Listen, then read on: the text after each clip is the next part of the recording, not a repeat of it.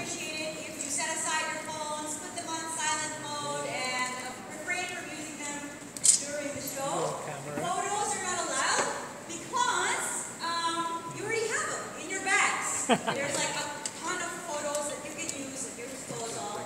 And uh, the only people allowed to take photos tonight are those indoors and allowed by Red Turnip. And also, due to the, the, the, the nature of the play, it might bother the actors. So please respect them